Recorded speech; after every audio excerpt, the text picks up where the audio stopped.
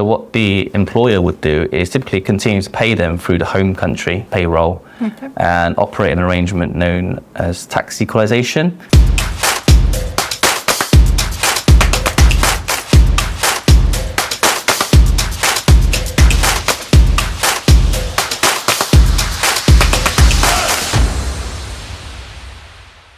Hi, and welcome to Crowe Corner with Business Solutions. Today I'm joined by Kenny. Kenny specializes in cross-border hiring and deployment staff. Kenny, we've worked with several businesses in the past, um, and uh, some of them were in the construction industry, requiring you know specialist expertise. We're talking about you know uh, setting up data centers and um, planning for you know railway networks, design and planning. What are the things that they needed to consider in planning you know for those employees? quite a few uh, considerations to think about here. Mm-hmm. So you've got immigration, and you've got uh, employment law uh, compliance, and you've got compensation as well. Uh-huh. So the first thing, uh, for sure, is ensuring the employer is meeting its employment law requirements. Uh-huh. So this will apply to employees transferred in from abroad, just as much as it would apply to local employees uh, employed by the UK company. Uh-huh.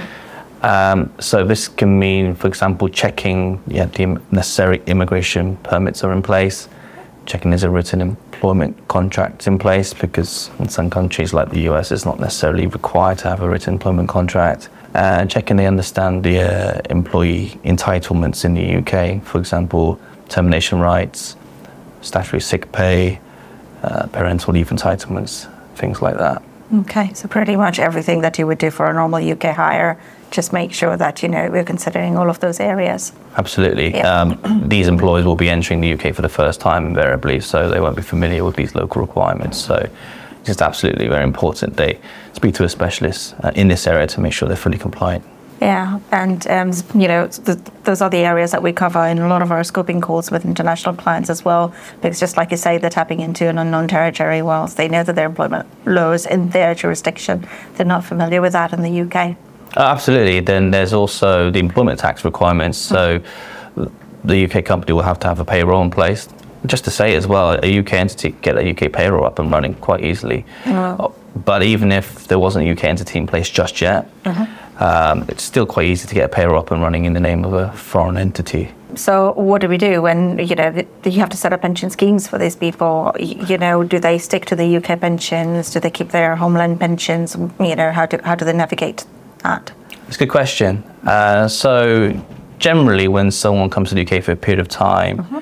and then the plan is to complete their stint and go back to their home country, mm. the employee tends to want to maintain that link with their home country, yeah. continue to pay their home country pension contributions, home country social security contributions throughout the period of that secondment. So what the employer will generally do is keep them on that home country employment mm-hmm. contract and second mm. them to the UK as opposed to terminating the home country employment contract and then moving them onto a local contract with the UK entity.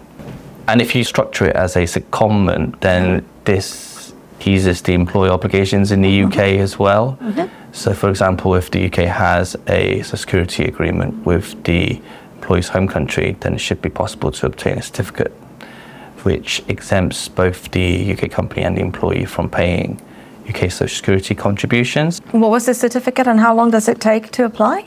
Typically it takes between four to six weeks to obtain the certificate, so okay. it's definitely best to apply well in advance. All right. And then what about the employee's take-home pay? Uh, how does that get impacted? Because obviously they're used to their pay package. Yeah, absolutely. Yeah. So a lot of the time, the employee will want to continue to receive a net pay that's comparable to what they mm-hmm. would have received if they didn't go on to Common if they remained in their home country. And then, so what the employer would do is typically continue to pay them through the home country payroll okay. and operate an arrangement known as tax equalization, which generally means the employer is agreeing to pick up the UK taxes on the employee's behalf, and the taxes that the employee pays is similar to what they would have paid if they remained in their home country. So tax equalization, I would say, is, is quite popular um, because it basically means the employee has a better idea of what they will receive in terms of their net pay. They don't have to worry about the impact of another country's taxes. Just keeps their affairs simple takes taxes out of the equation. Thank you, Kenny. You've shared a lot of information today. Um, certainly, areas of the business you know you need to take into consideration when they're considering deployment of staff to the UK. I hope you enjoyed today's episode. I look forward to seeing you next time.